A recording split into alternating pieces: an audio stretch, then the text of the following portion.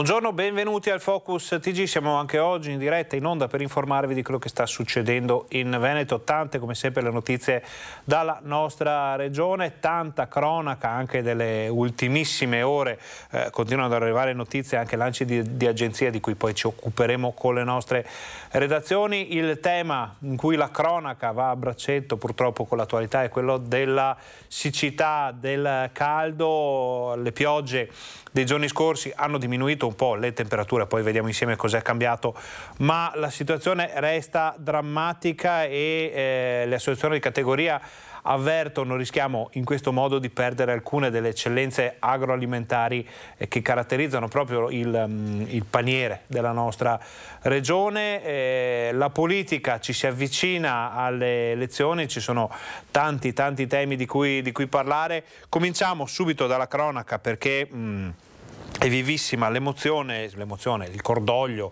eh, per, eh, per, quello che è accaduto ieri a Revine Lago, eh, poco dopo le 16 una bambina è eh, sparita nelle acque del lago, una bambina che stava partecipando a una gita e eh, è stata ripescata purtroppo quando era ormai troppo tardi, eh, si è cercato in tutti i modi di ehm, prestarle soccorso ma non, non c'è stato niente da fare, si sono sono, eh, c'è un'inchiesta aperta in eh, procura, la, la, la situazione eh, è stata davvero, davvero drammatica, abbiamo già un primo servizio della nostra redazione. Inchiesta aperta in procura a Treviso sulla morte per annegamento ieri nel lago di Revine di Maria Markovetska, la bambina ucraina di 7 anni fuggita dalla guerra insieme alla sua famiglia e ospite del collegio San Giuseppe di Vittorio Veneto. La magistratura trevigiana ha aperto un fascicolo ipotizzando i reati di omicidio colposo e omessa vigilanza, al momento a carico di ignoti. Non ci sarebbero a tuttora degli iscritti nel registro degli indagati, anche se i carabinieri di Vittorio Veneto stanno proseguendo la verbalizzazione delle testimonianze testimonianze dei tanti che erano presenti sul luogo della tragica morte della piccola. Sul corpicino di Maria verrà con tutta probabilità eseguita l'autopsia. La bambina si trovava al lago insieme ad altri 70 bambini del Grest parrocchiale del campus San Giuseppe di Vittorio Veneto, una gita con esito tragico. Pare che Maria fosse scomparsa da almeno 50 minuti quando ci si è accorti della sua assenza. Il ritrovamento del corpo è avvenuto quando ormai era troppo tardi. I disperati tentativi di rianimare la piccola, andati avanti per quasi un'ora, non non sono purtroppo serviti a scongiurare il peggio. E ieri pomeriggio c'erano sul posto eh, i nostri giornalisti, i nostri operatori per eh, le, prime, eh, le, prime, informazioni, per capire che cos'era successo. Ci sono tante voci, abbiamo, abbiamo raccolto quelle dei testimoni, sentite. Io facevo una passeggiata qui in riva al lago quando vedo una coppia che col piede sposta un, un corpo. Io allora l'immagine che ho è che vedo un costumino rosso a galla, quindi quando lo vedo subito mi tuffo, la metto in braccio e la porto in riva e incomincio a rianimare in continuazione. Siamo stati un quarto d'ora, non so quanto, a rianimarla. Ragazzi, eh, con tutte le nostre forze, anche l'infermiere è venuta, mi ha dato una grande mano, anche il proprietario del bar, poi sono arrivato l'elisoccorso, il 118, e abbiamo lasciato in mano ai soccorsi.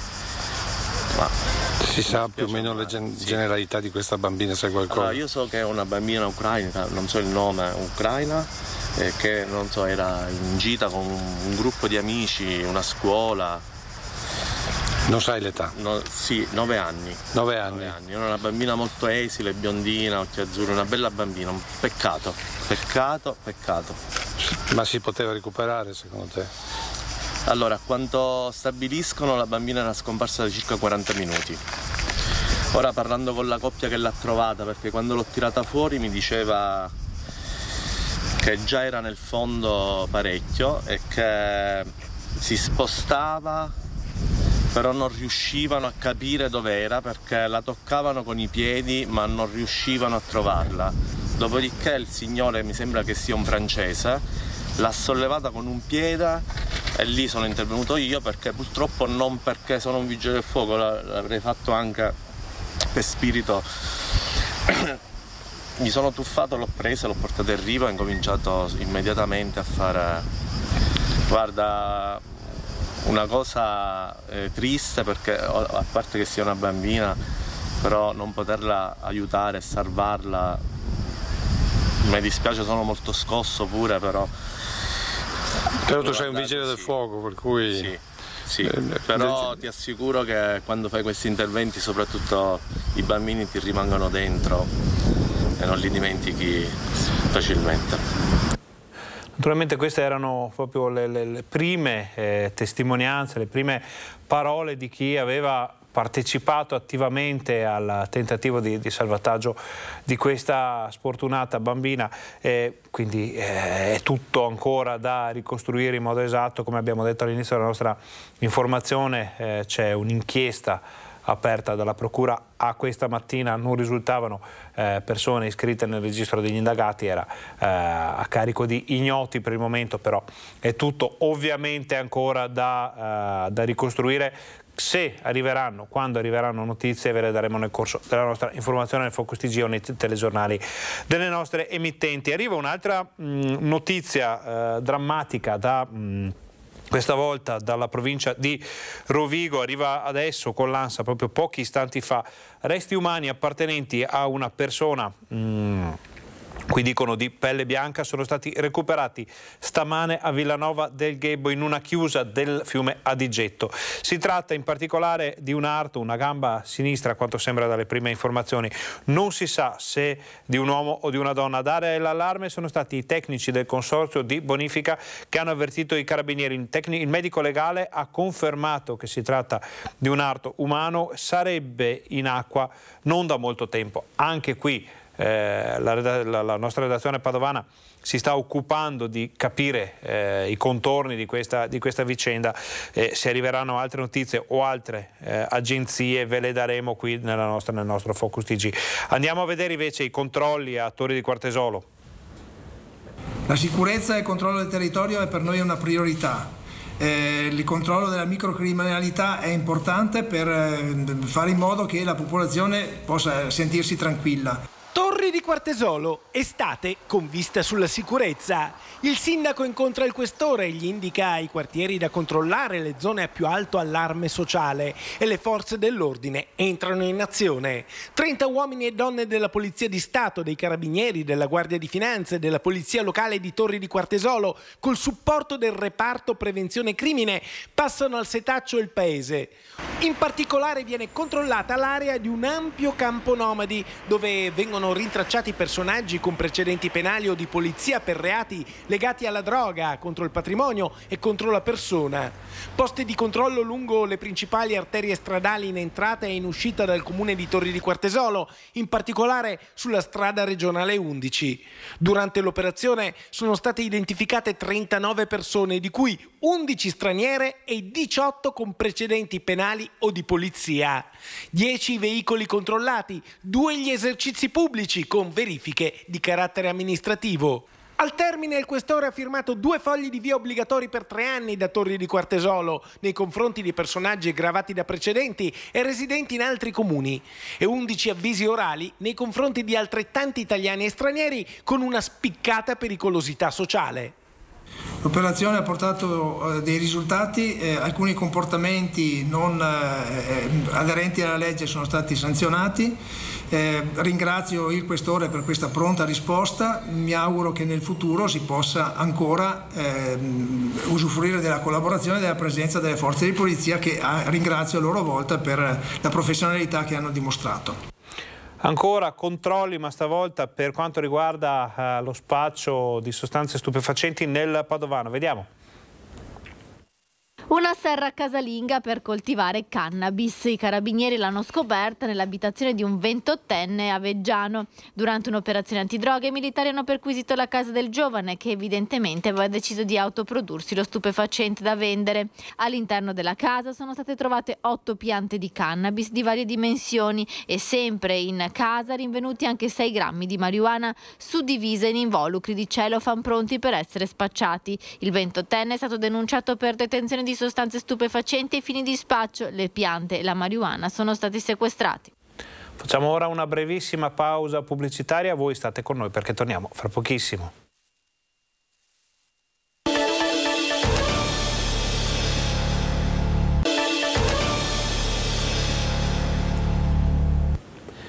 Buongiorno, bentornati al Focus TG, siamo anche oggi in onda in diretta per informarvi di quello che sta succedendo in Veneto. Siamo nella pagina della cronaca, ci arriva una notizia da dalla nostra redazione padovana, telefonate con minacce scritte con la vernice sui muri di casa per evitare che la moglie chiedesse il divorzio. Per questi e altri gesti la squadra mobile ha notificato un provvedimento di divieto di incontro e avvicinamento alla donna e ai figli minorenni nei confronti di un 45enne padovano.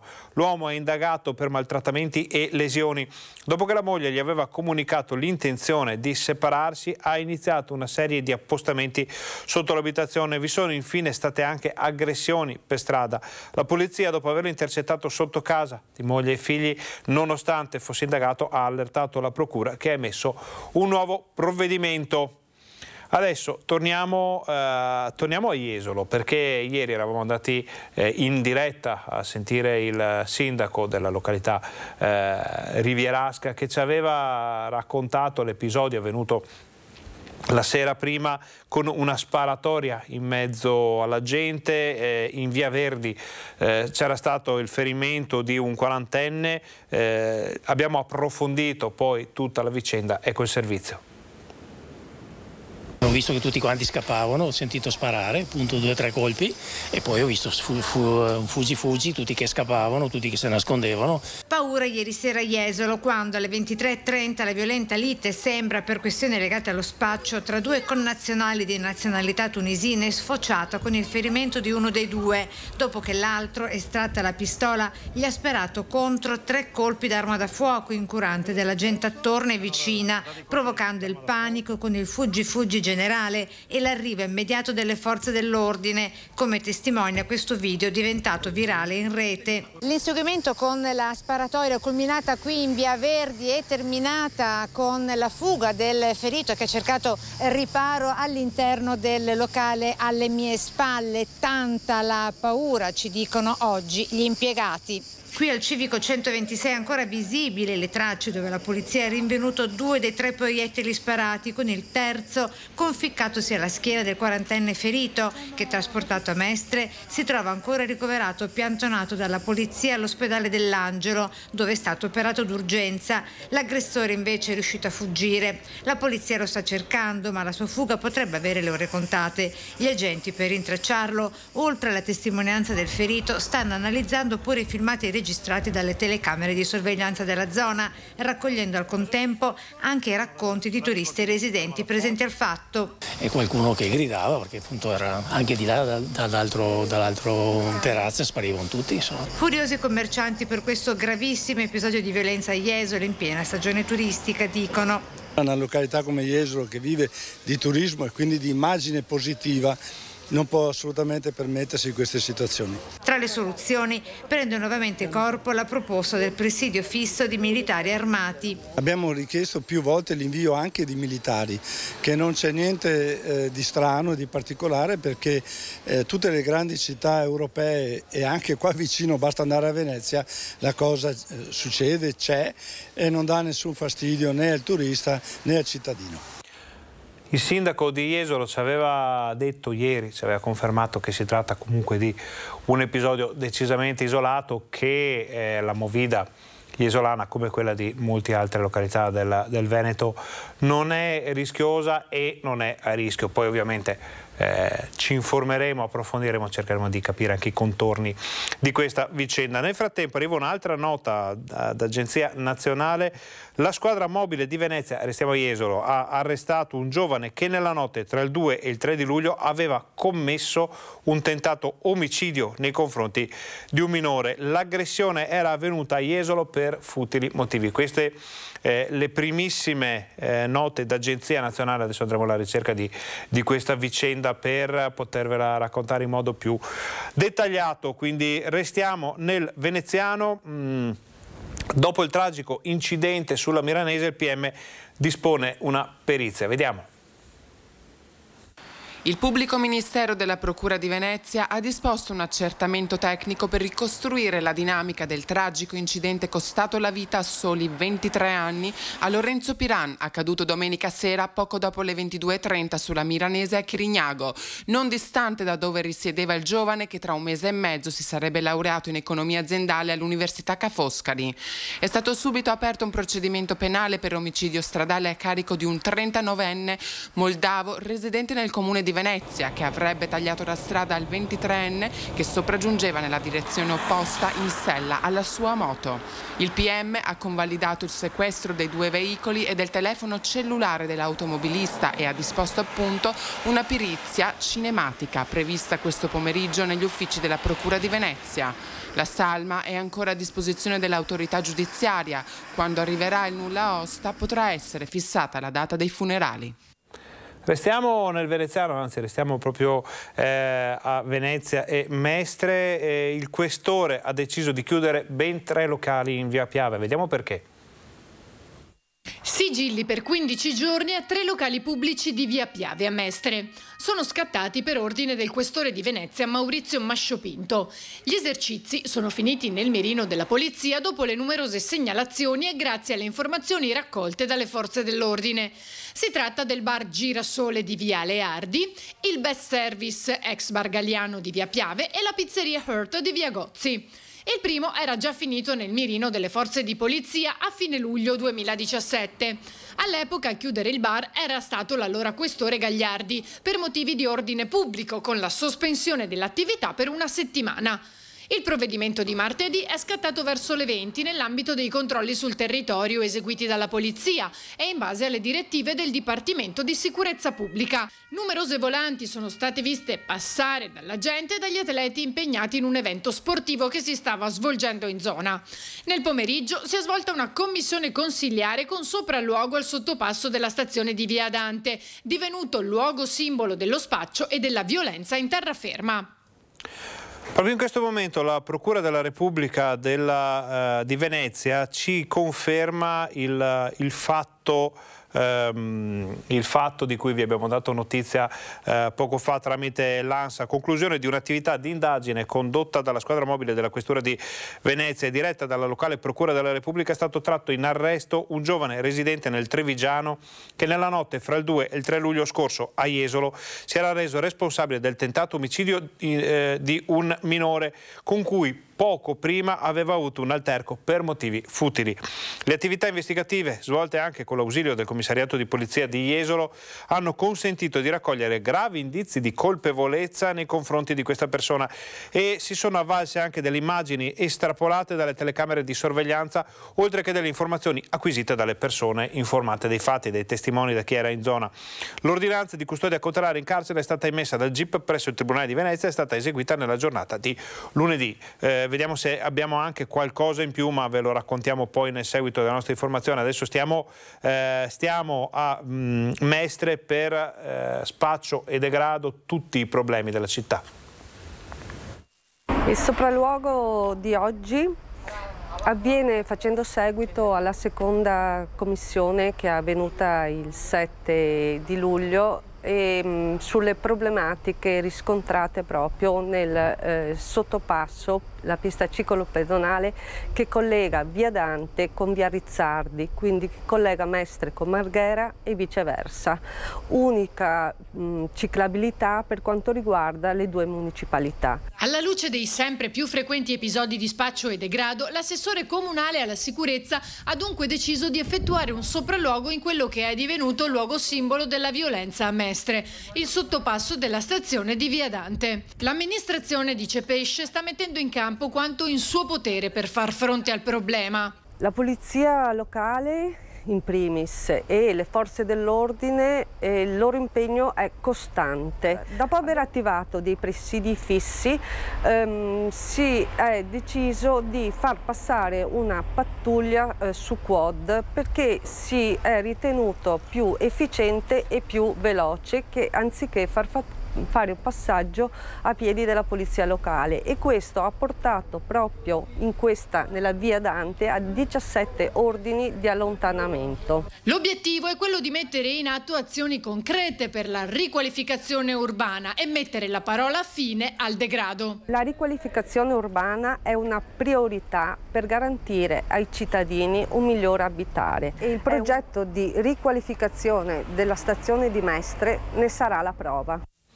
Situazioni simili si vivono in moltissime città e cittadine del Veneto. Adesso andiamo a eh, Vicenza perché il, è stato, si è deciso di chiudere un bar che non aveva le autorizzazioni in regola. Tre giorni di tempo, non uno di più. Scatta la diffida per il gestore del locale di Viale Ferrarin a Vicenza, sanzionato nei giorni scorsi con 5.000 euro di multa e col divieto di proseguire l'attività perché non aveva le autorizzazioni comunali. Eppure, nonostante l'ordine di chiusura, il gestore ha tenuto aperto il locale. Ad accorgersene gli agenti delle volanti della questura che all'interno del bar hanno trovato 5 clienti che stavano consumando bevande. È scattata quindi la diffida se il gestore non chiuderà il locale entro tre giorni e non regolarizzerà la situazione, sarà disposta la chiusura del bar con i sigilli e l'intervento della forza pubblica.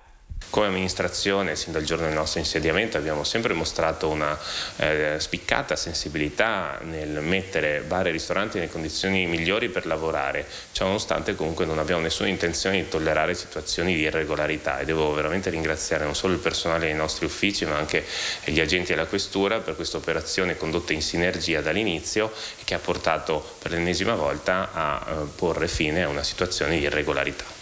Sempre per la cronaca, due persone sono state arrestate in flagranza di reato per detenzione ai fili di spaccio di sostanze stupefacenti. L'operazione è stata portata a termine dai carabinieri del nucleo operativo radiomobile della compagnia di San Donà di Piave nell'ambito di un'attività di indagine diretta dalla Procura della Repubblica. I due soggetti sono stati trovati in possesso di 16 kg di marijuana individuati in un'auto e nelle pertinenze di un'abitazione per un valore che avrebbe fruttato al dettaglio almeno forse oltre, addirittura 80 mila euro. Quindi, quindi 16 kg di marijuana sequestrati dai carabinieri eh, del nucleo operativo radiomobile a San Donà di Piave. Anche qui vediamo se arriverà qualche informazione in più nel corso del nostro telegiornale. Adesso noi facciamo una brevissima pausa. State con noi perché torniamo fra pochissimo.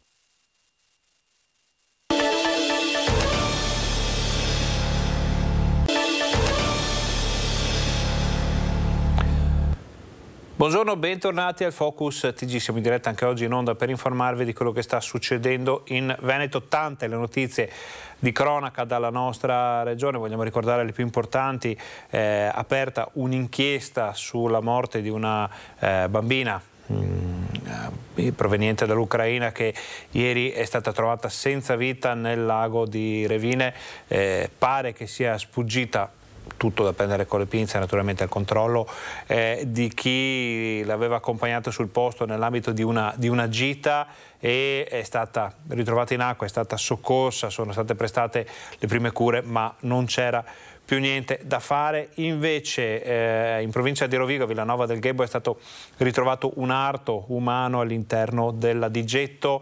Eh, pare, secondo le prime conferme da parte eh, dell'autorità sul posto, che si tratti effettivamente di una, una gamba che mh, non era probabilmente in acqua da molto tempo. Quindi eh, notizie di, tragiche che arrivano dalla nostra regione, eh, meno tragiche, meno drammatiche invece le notizie che arrivano da Tombolo dove dopo i vandalismi e le minacce si decide di chiudere un campo da calciotto che era stato messo gratuitamente a disposizione dei ragazzini del paese. Vediamo perché.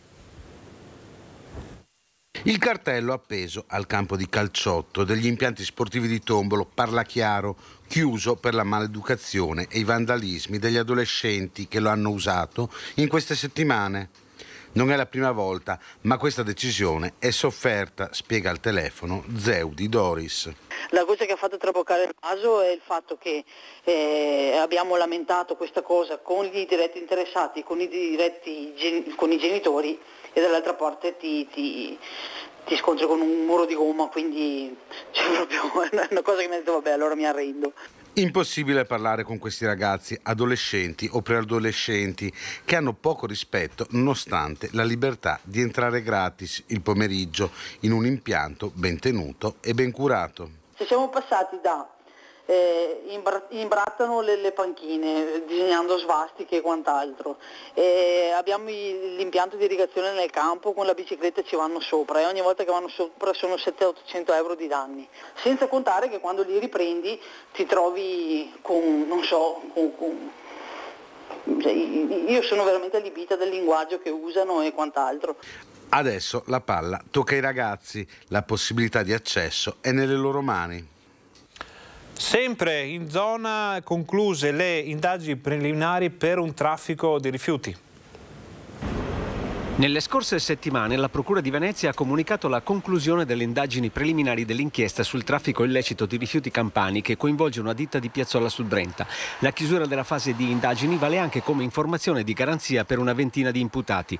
La ditta incriminata avrebbe mescolato i rifiuti alle materie prime plastiche. Dalla Campania sarebbero arrivate oltre 150 tonnellate di rifiuti in parte speciali, per lo più indifferenziati. Ad accoglierli in Veneto, oltre a quella di Piazzola, sarebbe stata anche una seconda azienda di Cavaso del Tomba nel Trevigiano. Secondo il sostituto procuratore di Venezia, le imprese inserivano i rifiuti in parte nel ciclo produttivo destinato alla lavorazione di materie prime plastiche con l'intento di rendere irritracciabile il rifiuto stesso, conseguendo così un ingiusto profitto, ovvero incamerare la somma pattuita per lo smaltimento illegittimo, almeno 48 euro a tonnellata, nonché il guadagno della plastica in tal modo prodotta.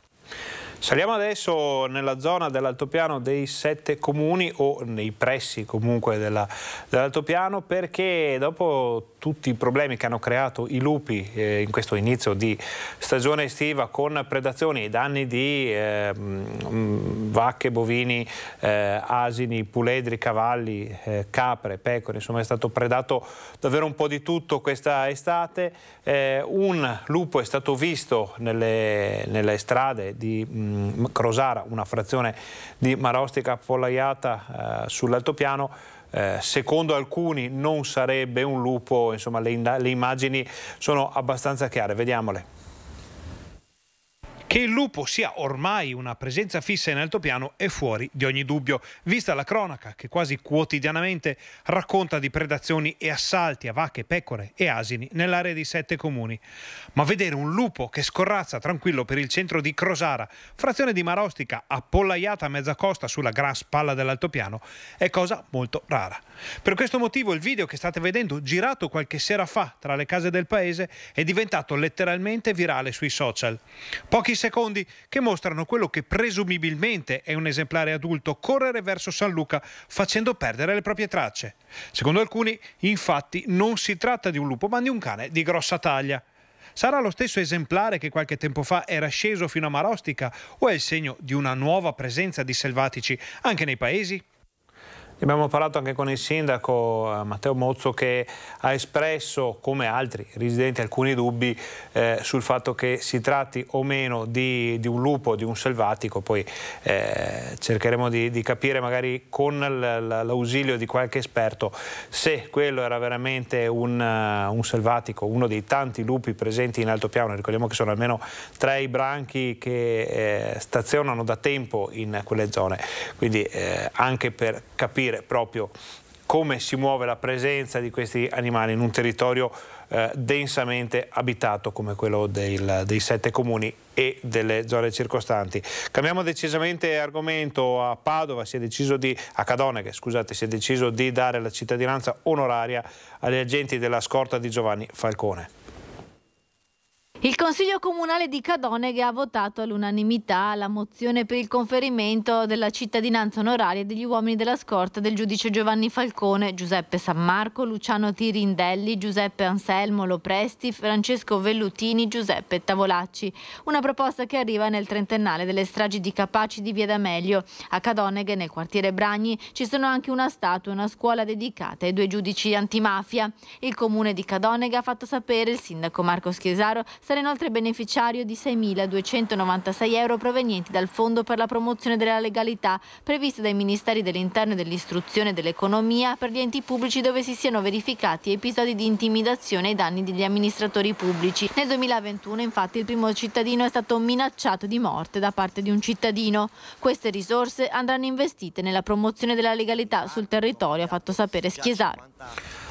Chiudiamo la pagina della cronaca, pronti a riaprirla, non dovessero, dovessero arrivare notizie dal Veneto e entriamo in quella della eh, siccità, del maltempo, del meteo, perché? E abbiamo già le informazioni che ci arrivano dall'ARPAV, le vediamo con la regia di Fabio Verini e Alessandro Costacurta. Ieri le temperature sono eh, scese di molto, insomma la, la, perturbazione che è passata sulla nostra eh, regione ha abbassato eh, almeno di 5, forse 6 gradi la, mm, eh, le temperature massime. Infatti vediamo che la massima della giornata di ieri è stata toccata a Gaiarine con 33 7. Ricordiamo che solo il giorno prima eravamo ancora attorno ai 38-39 gradi in alcune zone del Veneto, nel fine settimana avevamo sfiorato i 40 gradi, quindi è già, eh, è già qualcosa, si respira un po', è, eh, sono, sono, dati decisamente più nella media del periodo. La temperatura minima è stata toccata a Gazzignano, temperatura minima ovviamente in pianura,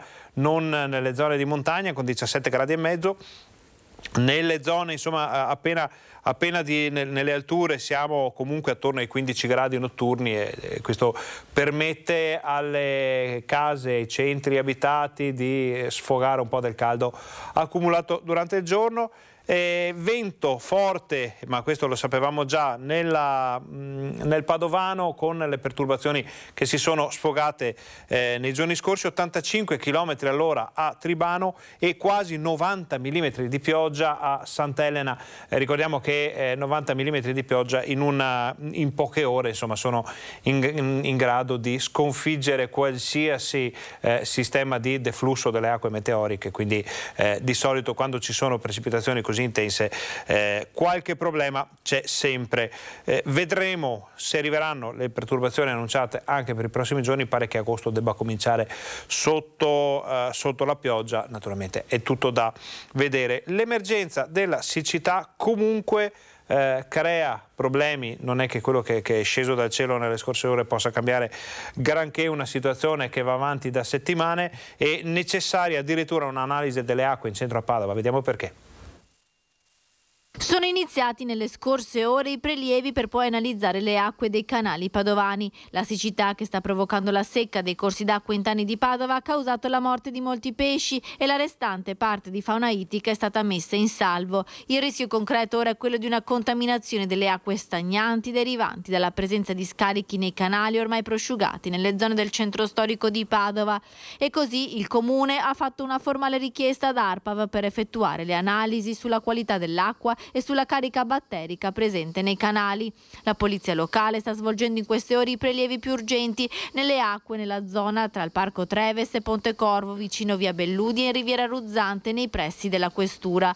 ARPAV poi valuterà ulteriori punti di prelievo. Le analisi saranno anche controllate dal Dipartimento di Prevenzione dell'USL 6, il quale potrà dare ulteriori indicazioni ed eventuali suggerimenti sulle azioni da mettere in campo per tutelare la salute pubblica, come trattamenti particolari che possono far diminuire diminuire il forte odore presente nei canali, derivante anche dalla putrefazione dei pesci. Se i risultati non dovessero essere buoni, anche il Comune interverrà con delle ordinanze.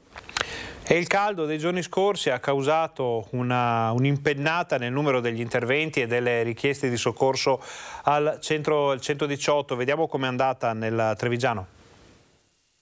Questa situazione, questa ondata di calore ha uh, comportato una, un aumento importante delle richieste delle chiamate al 118 a fronte di una media giornaliera di 360-370 abbiamo ricevuto tutti i giorni mai meno di 400 chiamate con alcune giornate di picco con anche più di 550 chiamate in un'unica giornata e contestualmente sono aumentati anche gli interventi di soccorso. Centralini bollenti davvero in tutti i sensi in questo luglio da record al su M118 di Treviso, come se non bastassero il Covid e le allerte per West Nile e vaiolo delle scimmie. L'aumento in termini percentuali causa meteo si è attestato tra il 25 e il 30% se si guarda lo stesso periodo dello scorso anno.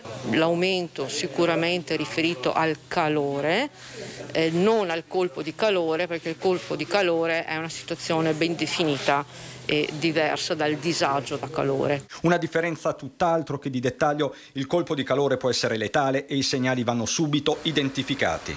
Il colpo di calore è una situazione eh, grave che può mettere anche in pericolo di vita, quindi può portare a morte.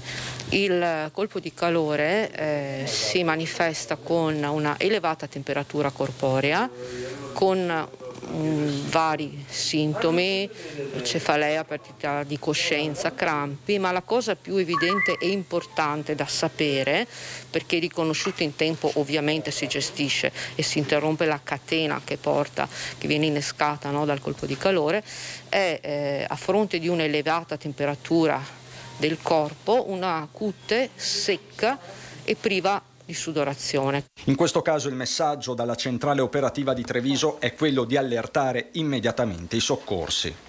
Prima di andare in pubblicità ci arriva una, un aggiornamento sul fatto di cronaca che ha portato all'arresto di un giovane trevigiano per tentato omicidio di un minore avvenuto a Jesolo nella notte fra il 2 e il 3 luglio. Eh, come dicevamo, dopo le indagini che hanno portato a identificare eh, quello che potrebbe essere l'autore della, dell'aggressione avvenuta per futili motivi. Eh, ci sono state testimonianze, ci sono anche delle immagini che, che sembrano eh, spiegare molto bene quello che è successo.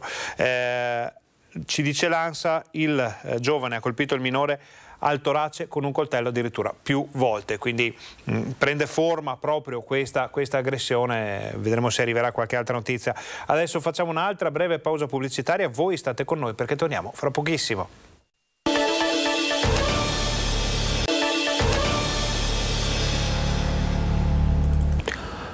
Buongiorno, bentornati al Focus TG. Siamo in diretta anche oggi in onda per informarvi di quello che sta succedendo in Veneto.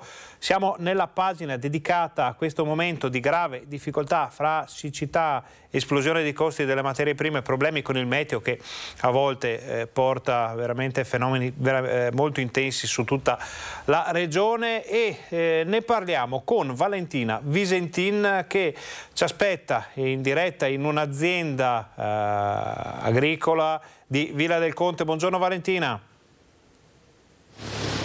Buongiorno Ferdinando, esattamente ci troviamo all'interno dell'azienda agricola del signor Francesco Cazzaro che è anche presidente del consorzio di bonifica Risorgive. Eh, vi, siamo all'interno di una stalla perché ovviamente le ripercussioni della siccità, dell'emergenza idrica ci sono anche per gli animali che soffrono il caldo, soffrono la carenza di acqua. Eh, chiedo al collega Andrea Benetti di inquadrare, guardate c'è perfino un ventilatore che serve per eh, dare un po' di sollievo a questi animali. E ovviamente sono tutti costi che si aggiungono e il mantenimento del bestiame, ci spiegava il signor Francesco, è davvero difficile. Sì, sì ecco, quella del ventilatore è qualcosa che si aggiunge perché in condizioni normali gli altri anni difficilmente, se non per una quindicina di giorni, si usa.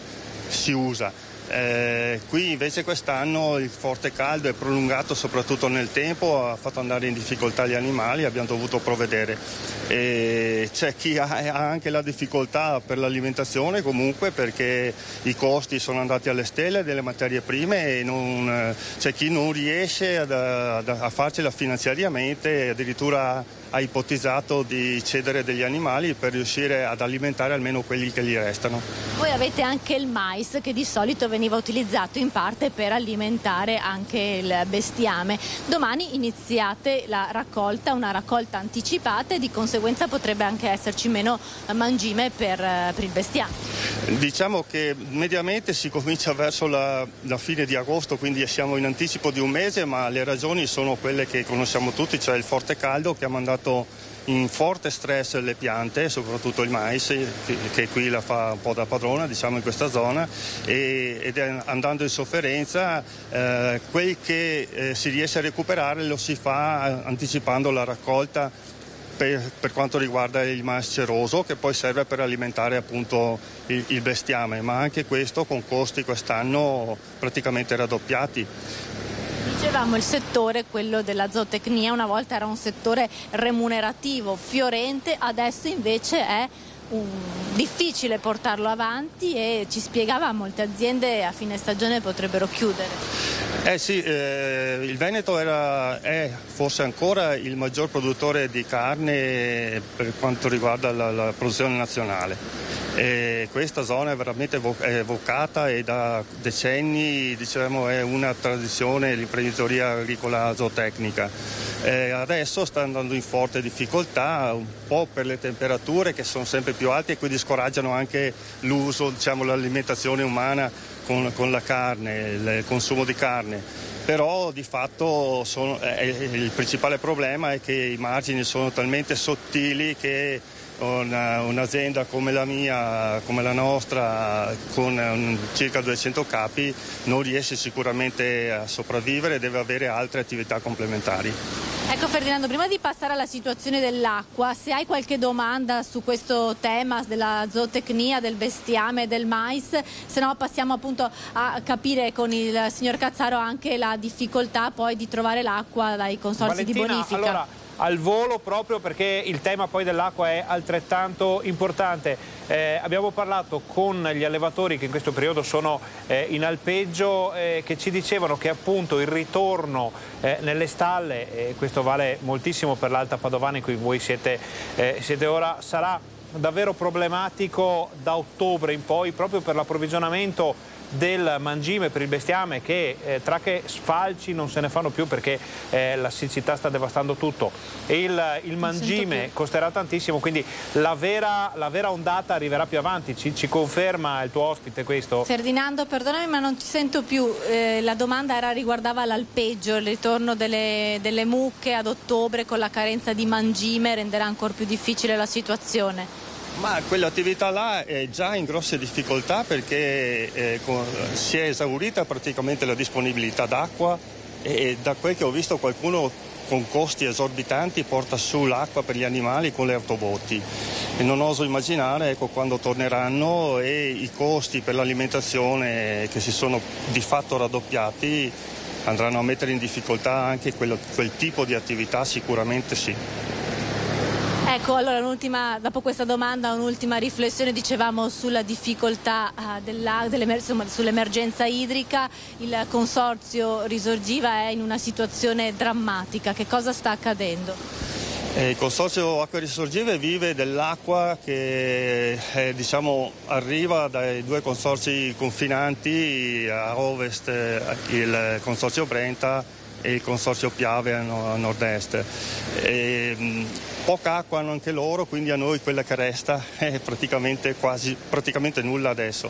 Noi viviamo per lo più delle risorgive che abbiamo qui con il Tergola, con il Sile, con, eh, con il Marzeneo, con il Dragazzolo, però siamo arrivati al punto di dover chiudere tutte le derivazioni, in particolare da Tergola e Muson Vecchio, eh, perché non ce n'è più in questi fiumi, quindi non ce n'è da togliere per dare alle canalette eh, per irrigare i campi, altrimenti il fiume si secca e a valle rimane praticamente vuoto. Ecco Ferdinando, questa è la situazione davvero drammatica di un territorio, quello dell'Alta Padovana, che è vocato al settore della zootecnia e anche al settore agricolo delle coltivazioni. Da Villa del Conto è tutto, restituisco la linea allo studio.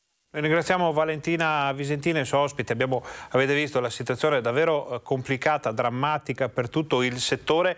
Abbiamo avuto modo di introdurre anche il tema di cui parleremo ora, ovvero eh, l'alpeggio. Le malghe rischiano di chiudere anzitempo a causa della siccità che sta attanagliando, in questo caso parliamo dell'altopiano di sette comuni, ma molte zone della montagna veneta. Eh, una volta che le mandrie saranno scese a valle in anticipo, però il problema si riproporrà nuovamente. Ne abbiamo parlato con Davide eh, Nicoli della Malga Serona sull'altopiano, sentite cosa ci ha detto. Oggi è una giornata che ha dell'incredibile perché non avremmo mai pensato di dover transumare, cioè portare a casa le vacche dell'alpeggio ai primi di agosto.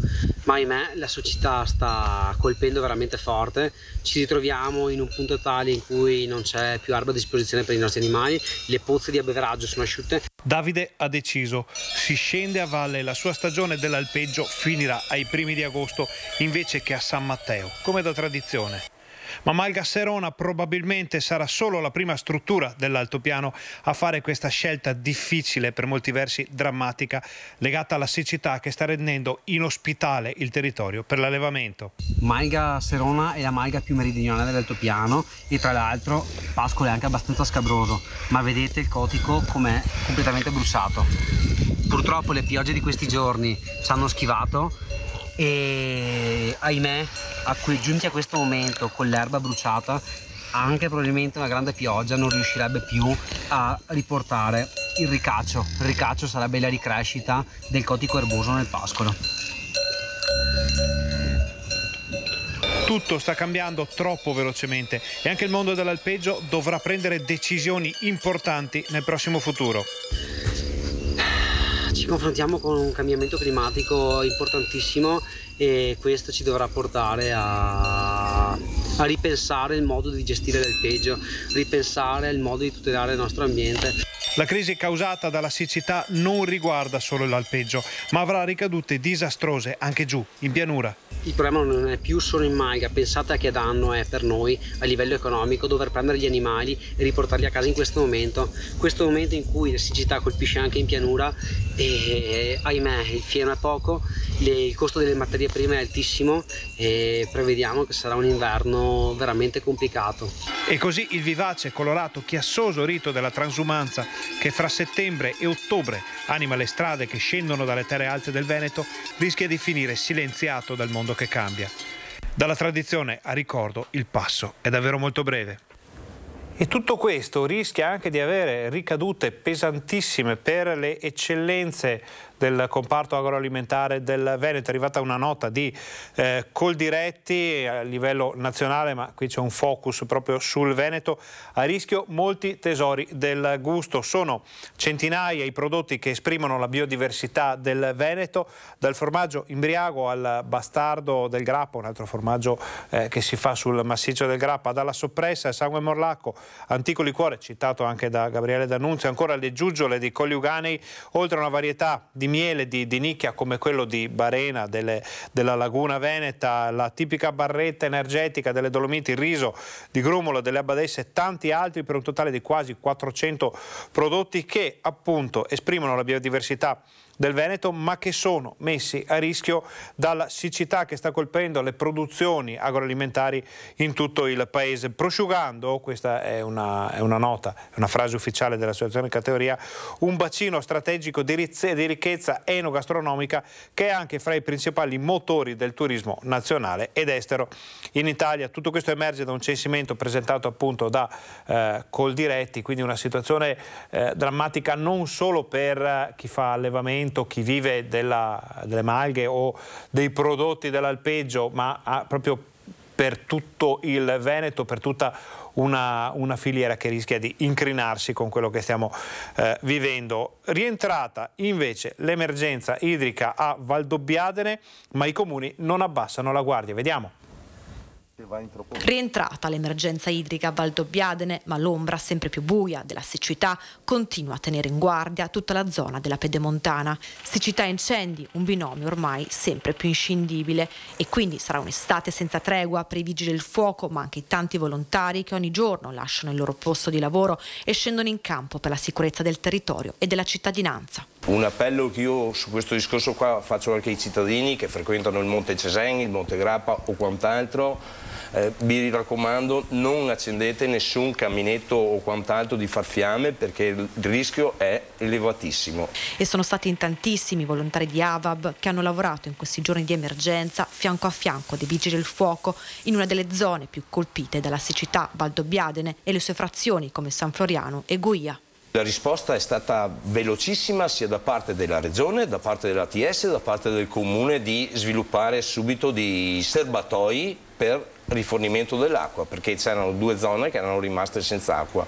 Noi purtroppo abbiamo il problema che acqua è un po' insufficienza e quindi dobbiamo garantire anche le famiglie, anche quelle più bisognose, logicamente di avere la situazione con l'acqua in casa. Acqua che in questo momento manca anche agli animali. Stiamo fornendo acqua per, le, per, il bestiame, però il bestiame si vede anche la situazione, il bestiame sta rientrando nelle zone basse perché il bestiame non ha la stessa produzione che avevano negli anni scorsi perché mancando l'erba e quant'altro, l'alimentazione a queste mucche, i malgatori sono obbligati a, a, scendere con il bestiame.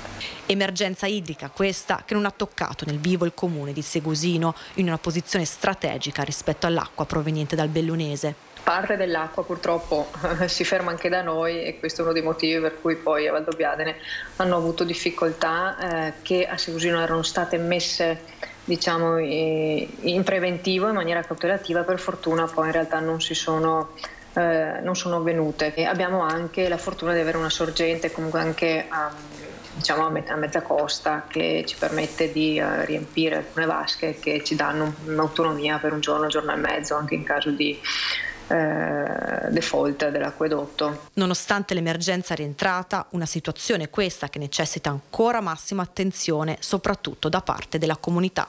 Faccio un appello pubblico per nuovamente, se qualche cittadino ci ascolta, ecco, di mettersi una mano sulla coscienza. Ecco. Allora, prima di andare in pubblicità, vediamo assieme le mappe che ci arrivano eh, dall'ARPAV che ci fanno vedere la situazione pochi minuti fa in Veneto. Potete vedere che sì, sono temperature effettivamente eh, un po' alte, ma sono soprattutto temperature estive. Si va difficilmente oltre i, i 31 gradi. Vediamo che per esempio a Treviso poco fa c'erano eh, circa 31 gradi, a Vicenza, Isola Vicentina eh, 31,1, però nel resto del Veneto sono temperature decisamente in media con il periodo che poi scendono addirittura uh, a 16 gradi sul, sul, Grappa, a 17 gradi sul Cesen, poi in altopiano dei sette comuni a Lusiana 25 gradi, quindi 23 ad Asiago, giusto magari per fare un po' di invidia a chi in questo momento è, eh, è in pianura al caldo. Mm, è cambiato il tempo, dovrebbe perdurare questo stato accettabile per qualche giorno, poi c'è da capire se arriverà di nuovo il gran caldo oppure se arriveranno le piogge come eh, annunciato e suggerito da alcuni meteorologi. Come sempre noi ve lo racconteremo nel corso della nostra informazione. Adesso a questo punto facciamo l'ultima brevissima pausa pubblicitaria. Voi state con noi perché torniamo fra pochissimo, siamo in onda fino all'una e mezza. State con noi.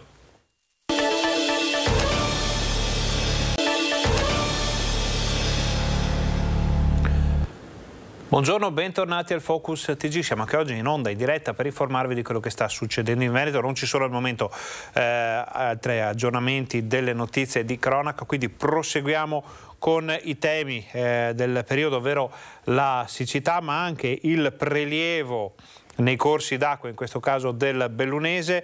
Eh, c'è un emendamento al decreto concorrenza approvato ieri alla Camera dei Deputati che parla proprio di concessioni idroelettriche. Vediamo cosa dice.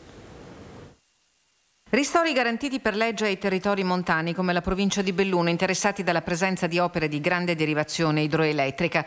Stavolta è scritto nero su bianco nell'emendamento del PD votato ieri dalla Camera dei Deputati che ha approvato il decreto concorrenza. All'interno di questa norma c'è stato un grande lavoro del Partito Democratico per fare in modo che i territori abbiano un vantaggio concreto da questi rinnovi, un, un vantaggio in termini ambientali ma anche in termini di eh, risorse risorse finanziarie. Per la prima volta e per legge dello Stato i titolari di concessioni delle grandi derivazioni idroelettriche dovranno garantire non solo i ristori ma anche il mantenimento di livelli minimi in termini di miglioramento e risanamento ambientale del bacino idrografico.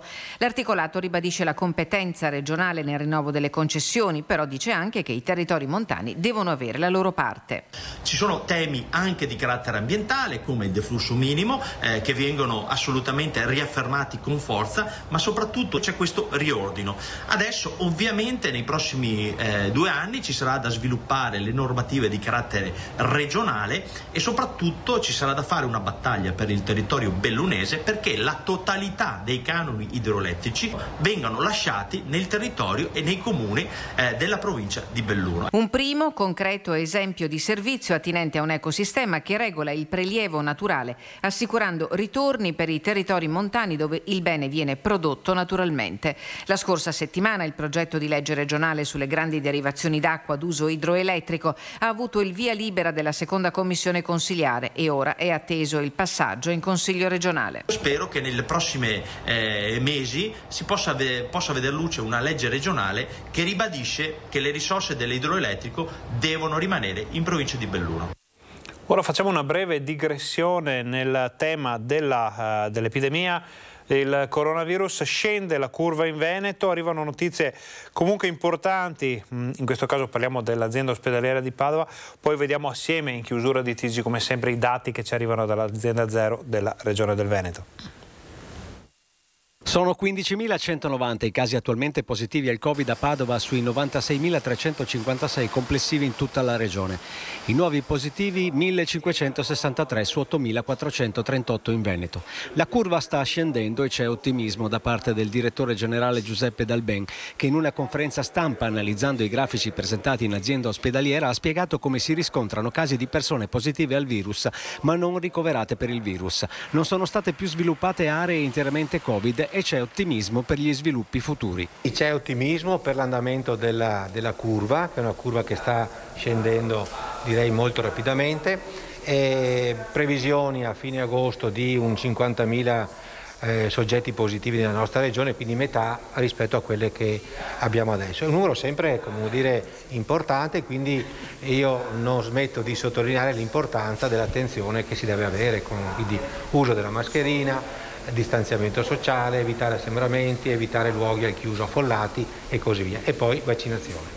Gli altri virus tuttavia stanno impegnando i sanitari per la presa in carico e per i pazienti ricoverati. West Nile, Toscana e Vaiolo delle scimmie sono un problema principalmente per gli anziani. Accanto al coronavirus ci sono anche questi altri virus, West Nile, Toscana, eh, il virus del Vaiolo delle scimmie in totale stiamo seguendo, abbiamo seguito, stiamo seguendo circa una ventina di persone, attualmente sono eh, 5-6 le persone appunto ricoverate e quelle ricoverate sono per gran parte dovute al West Nile, uno per il Toscanavirus, sono persone anziane che naturalmente hanno delle patologie a monte, là dove appunto arriva il virus può provocare appunto dei danni e quindi ricoveri in ospedale. Quindi anche qui attenzione, attenzione al a come ci si pone nell'ambiente esterno, l'uso dei repellenti, l'uso di eh, abiti molto chiari, eccetera. Insomma.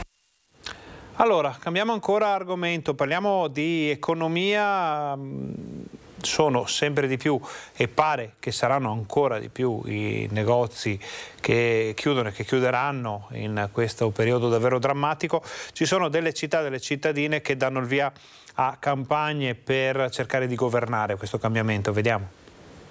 È una piccola campagna pubblicitaria che dà inizio a un nuovo percorso sul tema dei locali sfitti delle aree diciamo poco degradate del territorio. Montebelluna in metamorfosi è il nuovo progetto volto a favorire il commercio all'interno del distretto urbano denominato Cinta Emporio attraverso una campagna di comunicazione finalizzata a sollevare una riflessione politica e culturale sul fenomeno dei locali sfitti che a Montebelluna se ne registrano oltre 90 da febbraio di quest'anno quest'anno.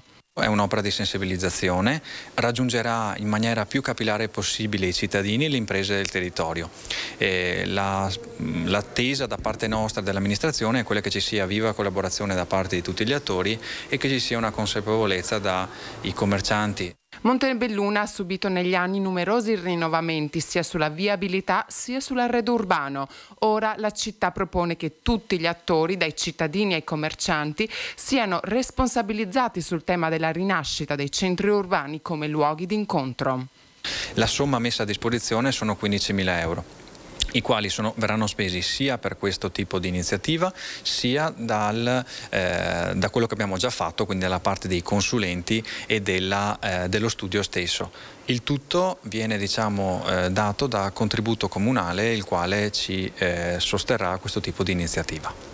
C'è un, un, logo che non è dritto, diciamo, che ispira il dinamismo e ci sono due eh, frecce che rappresentano il ciclo dell'innovazione continua. Come anche ribadisce l'amministrazione comunale, Montebelluna ha compiuto uno scatto che l'ha messa in prima fila, facendola diventare una cittadina con una struttura urbanistica all'avanguardia. Pertanto ora l'obiettivo è quello di pensare al futuro prossimo, perché la pandemia ha creato un cambiamento così repentino da richiedere nuove evoluzioni nel commercio locale. Abbiamo l'obbligo e il dovere morale di poter eh, contribuire al benessere della città e al benessere di tutti noi. Adesso ci spostiamo nella Bassanese, c'era arrivata una segnalazione riguardante una pista ciclabile che eh, sembrava aperta ma non lo era perché in realtà c'erano ancora tutti i cartelli di cantiere in corso. Come sempre facciamo quando riceviamo le segnalazioni di voi telespettatori, dei cittadini, siamo andati all'amministrazione, dall'amministrazione comunale, abbiamo chiesto conto di questa situazione, ecco che cosa è venuto fuori. Ciclo pedonale che collega Cassola, la statale 47, in prossimità dell'Eurobrico, a via Croceron lungo la ferrovia.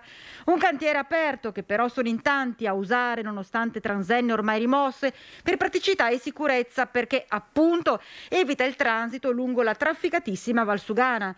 Ce ne siamo occupati dopo che alcuni telespettatori ci avevano segnalato lo stato di totale abbandono in cui versa la ciclabile. In realtà i lavori non sono ancora ultimati e noi abbiamo chiesto spiegazioni al sindaco di Cassola, Aldo Maroso, che precisa come questa rientri nelle opere di compensazione per la realizzazione del centro di hobbistica. Le segnalazioni sono arrivate anche a noi naturalmente. Abbiamo sollecitato per quattro volte, mi dicono gli uffici, la ditta a sistemare perché deve essere fatta una piccola variantina rispetto al progetto iniziale per togliere una, una riga di verde che era e che è quella infestata attualmente dalle erbacce. No? Però eh, se la si pratica è sicura.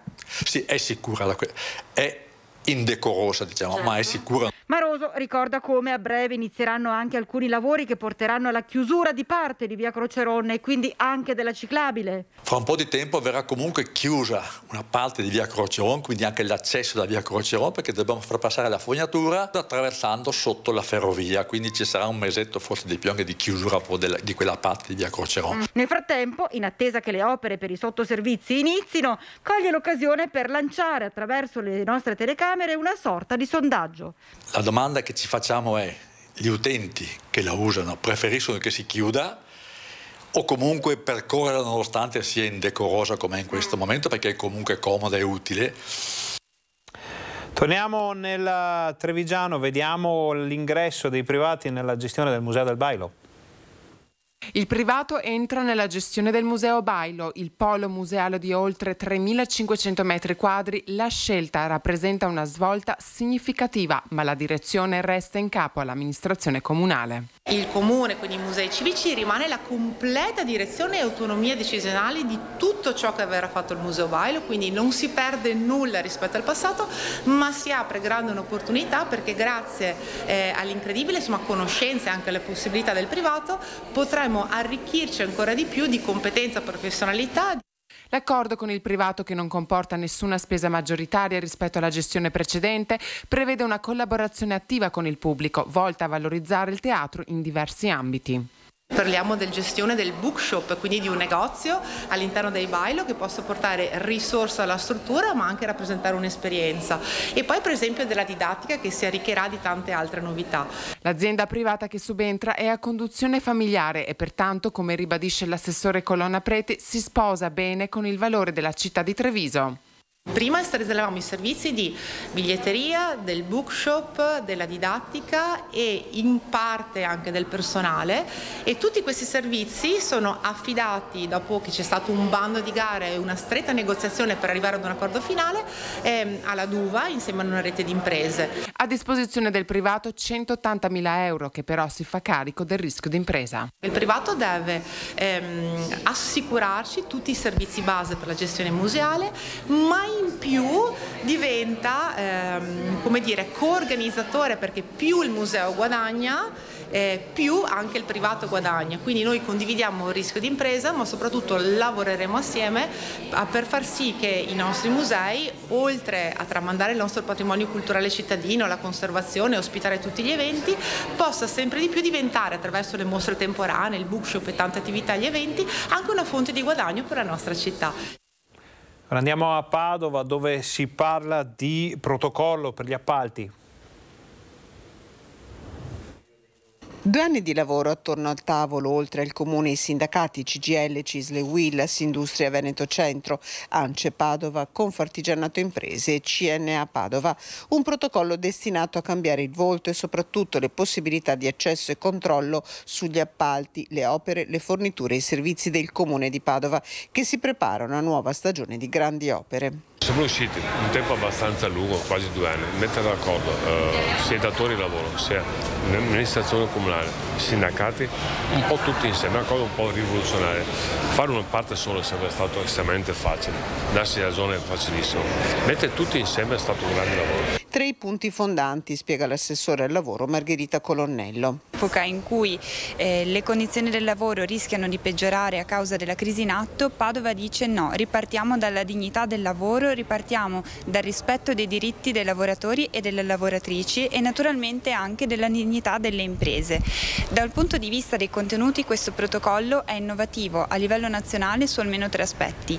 Il primo è che eh, il comune, l'ente locale quindi in collaborazione con tutte le parti datoriali e sindacali redige, le, eh, redige gli appalti. Il secondo aspetto è che nell'applicazione dell'appalto il comune può monitorare l'appalto stesso, soprattutto qualora si trasformasse in subappalto o in subappalto di terzo livello. Infine, nelle premialità andiamo a dare una direzione su quella che deve essere l'imprenditoria del futuro. Sostenibilità ambientale ed energetica, inserimento di lavoratori con disabilità o svantaggiati tra gli elementi premianti per l'aggiudicazione dei cantieri e per quanto riguarda i prezzi delle materie prime che tanto hanno preoccupato gli imprenditori in questi mesi, la possibilità di rivedere i capitolati previa la documentazione degli aumenti. Ora ci spostiamo a Vicenza, dove, eh, da dove ci arrivano tante segnalazioni da parte dei telespettatori, dei cittadini, su cose che potrebbero andare meglio, che andrebbero sistemate, magagne, piccole, eh, piccoli problemi di quartiere o a volte anche grandi problemi di eh, quartiere. Siamo andati ad esempio nel quartiere Ferrovieri. Quartiere ferrovieri da riprendere in mano la richiesta dei cittadini all'amministrazione, la voce dei residenti che chiedono maggiore attenzione per la pulizia delle strade, per la cura delle aree verdi, dei parchi gioco, lamentano un decoro urbano trascurato. E poi il retrone, polmone del quartiere che necessita, a detta di chi lo vive, di un progetto, una spinta in più per la fruibilità e la valorizzazione. Un po' più di pulizia delle strade De, anche l'incuria delle aiole basta guardare che non, non è che siano molto curate. Ecco. Per il resto è un quartiere vivibile. Questa zona che, dove si forma tanta gente è spesso sporchissima. Anche lungo stra la strada questa per risalire verso il centro, se lei guarda anche vicino alla zona dei cassonetti è indecente quello che c'è intorno, insomma roba buttata via, non pulita bene. Adesso le piante sono così e l'erba è alta così. Ci sono degli spazi aperti molto belli, tipo il parco Retrone, i vari parchetti giochi per i bambini, ce ne sono due, insomma mi sembra abbastanza dovrebbero forse essere un po' più curati. Ci vorrebbe un attimo più di attenzione per le strade, per, per le pulizie. Utilizzare meglio l'area del parco Retrone naturalmente. In che modo andrebbe utilizzata secondo lei?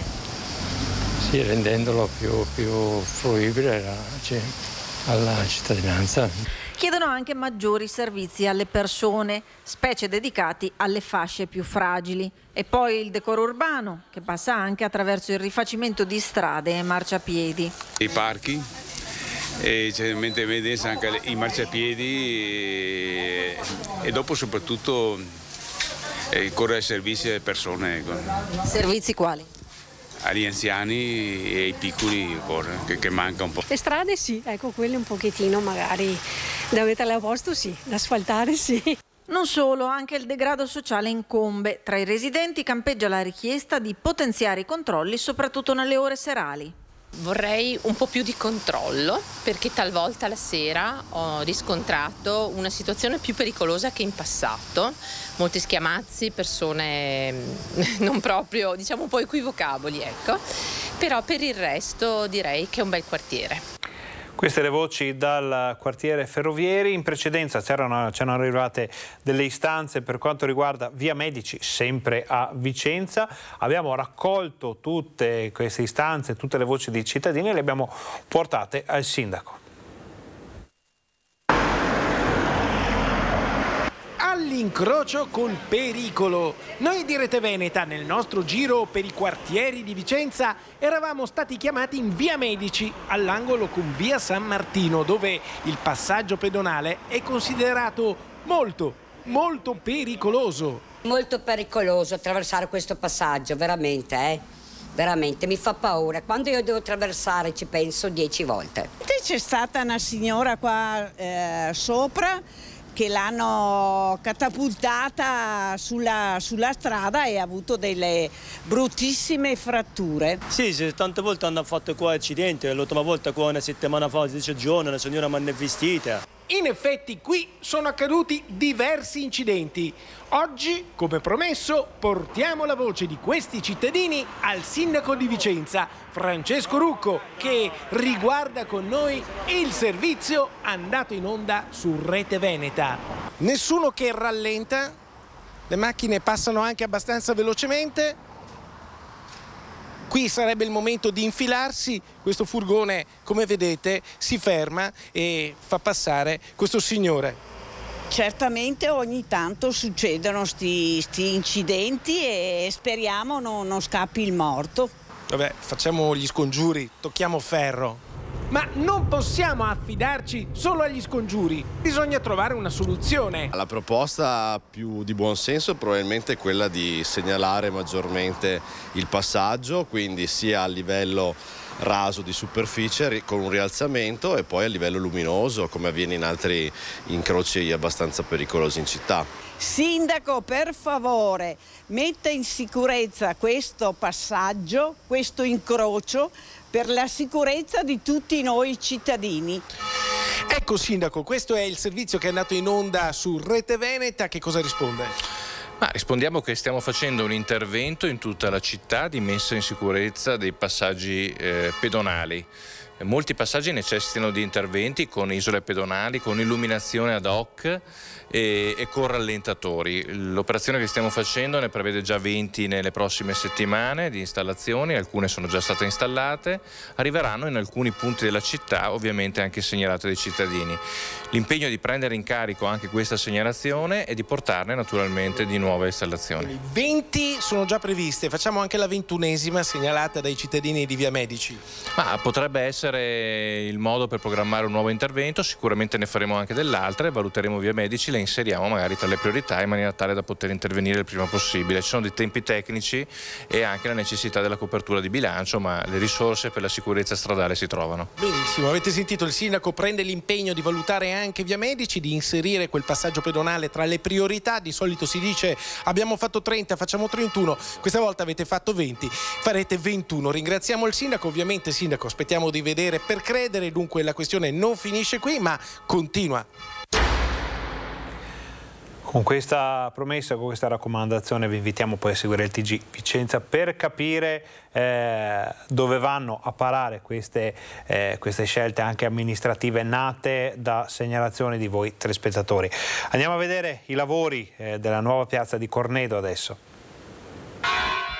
Cornedo Vicentino, obiettivo la futura nuova piazza. Per arrivarci bisogna percorrere via Cavour in tutti i sensi. Innanzitutto perché il primo passo viene compiuto sul marciapiedi con i lavori di rifacimento che già prevedono la stessa pavimentazione che verrà utilizzata per la ristrutturazione della centralissima piazza Aldo Moro. Qui possiamo vedere il primo stralcio, un primo assaggio di quello che è il più grande progetto di rigenerazione urbana che Cornedo abbia mai avuto dal dopoguerra ad oggi. Eh, è un piccolo assaggio del marciapiede di Via Cavour, un marciapiede che, uh, dove vengono utilizzati i materiali che poi utilizzeremo nel, nel progetto più grande del, di tutta la piazza e un progetto che vede come eh, filo conduttore la modernità, la solidità dei materiali, ma soprattutto la loro eleganza. La scelta è caduta su di una betonella, quindi un materiale che non fa finta di essere qualcos'altro, un materiale moderno, ma che nello stesso tempo ha eh, come dire, delle capacità di resistenza alle sollecitazioni del traffico e al gelo, ai trattamenti antigelivi che eh, ci garantiscono una durata nel tempo. Insomma, il marciapiedi di Via Cavour, vestito con una pavimentazione in betonelle, permette di avere un'anticipazione su quella che sarà la futura piazza. Ma c'è un'altra novità. Viene eh, istituito un senso anche. unico per garantire il passaggio in sicurezza con i lavori in corso. Questa sperimentazione ci ha permesso di capire la bontà di questa eh, scelta, tanto che l'amministrazione sta pensando di passare da una sperimentazione a un senso unico definitivo. Perché? Per due motivi fondamentalmente. Il primo perché ci permette di avere spazio per creare posti macchina. Nel, eh, nel limitrofo sono nate nuove attività che hanno bisogno di stalli di sosta e così potremmo averli, ma soprattutto perché con il senso unico riusciamo a risolvere un annoso problema, che è la, la criticità l'intersezione critica tra via Garibaldi e via Cavour. In questo modo eh, con il senso unico i veicoli possono svoltare in sicurezza e dovremmo risolvere quel punto nero che in passato ha creato delle situazioni di conflitto e spesso anche degli incidenti. Vediamo la difficile situazione della Procura di Treviso. Nel settembre verrà eh, istituito un ufficio di definizione affari semplici per poter fare in modo che il grosso delle risorse si concentrino sulle questioni più importanti e complicate e che le questioni più semplici vengano definite in maniera standardizzata, anche qui, e in maniera seriale, quindi di sfruttare quella che si potrebbe chiamare un po' un'economia di scala un ufficio affari semplici per gestire le indagini meno complesse è uno dei provvedimenti a cui sta lavorando il procuratore capo di Treviso per dare una risposta alla cronica difficoltà in cui versano gli uffici al quarto piano del Palazzo di Giustizia. C'è una grave carenza di personale di segreteria che si riflette sull'assistenza ai magistrati e sul, sul, disbrigo poi delle pratiche di segreteria inerenti alla definizione dei fascicoli e al lavoro dei magistrati. Ecco allora una prima soluzione è l'ufficio affari semplici. Ci sarà una riorganizzazione dell'ufficio in base a un nuovo progetto organizzativo e ci sarà anche una, ridefinizione dell'assetto della segreteria penale dell'assistenza ai magistrati. Però resta solo il discorso che quando la coperta è corta, a volte sì, spostandola magari può essere utile per coprire le parti più sensibili al freddo, ma alla fine qualcosa di scoperto resta. Un tema quello del personale di segreteria che vede anche il sostegno della regione alla quale il procuratore si rivolge per avere un rinforzo. La regione, per quel che mi risulta, ha fatto l'interpello del personale per vedere se ci sono soggetti interessati a fare un periodo da noi. Dopo l'estate spero che ci sia qualche risultato perché il pericolo è sia una giustizia a rilento che una certa impunità dettata dalla prescrizione legata ai tempi di giudizio. Per questo serve ogni singolo elemento utile a far funzionare la procura, dai magistrati al singolo operaio magari fornito in supporto dal comune. Detto questo, il capo della procura di Treviso lancia un messaggio chiaro ai cittadini. Posso peraltro assicurare che le cose, gli affari veramente urgenti, l'ufficio è tuttora in grado di trattarli tempestivamente ed efficacemente. Vediamo in chiusura i dati che ci arrivano dall'azienda Zero della Regione del Veneto. Sono arrivati poco fa in redazione. Allora, sono li mettiamo un po' più in grande in modo che si possano vedere bene anche da casa. Sono 7.422 le nuove positività riscontrate con i tamponi della giornata di ieri che portano il totale delle persone positive in Veneto a 96.718.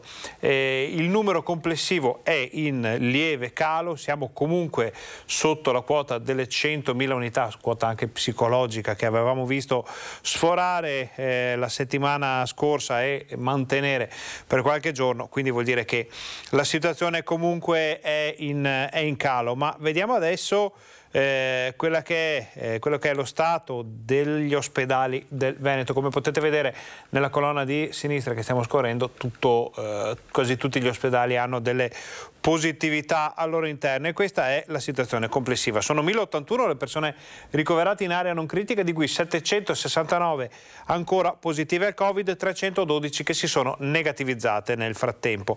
Sono 37 le persone ricoverate in terapia intensiva, di cui 23 ancora positive, 14 che si sono negativizzate. Vediamo la differenza rispetto alla giornata di ieri. C'è un bilancio positivo di 31 unità, vuol dire che ci sono stati comunque parecchi ingressi in ospedale eh, di persone affette dal Covid. Meno uno, bilancio negativo di un'unità, quindi sostanzialmente invariata la situazione delle terapie intensive. Sono da segnalare purtroppo ancora 4 decessi. Quello dei decessi è un numero che eh, è altalenante, eh, però fino a quando non vedremo il numero zero per parecchi giorni su quella casella, insomma non potremo dire di esserne uscite. L'attenzione deve essere sempre massima anche e soprattutto in questo periodo. Questa era l'ultima notizia, dicevamo, del nostro telegiornale. Noi ringraziamo Fabio Verin e Andrea Alessandro Costacurta per la regia. Ringraziamo tutti i colleghi, gli operatori tecnici che ci hanno permesso di portare nelle vostre case tutte le ultime notizie dal Veneto. Ringraziamo voi per essere stati con noi e vi diamo appuntamento a TG Bassano, al TG Vicenza di questa sera per tutto quello che non è stato detto fin qui, per tutto quello che accadrà poi nel corso della giornata e naturalmente vi auguriamo un buon pomeriggio.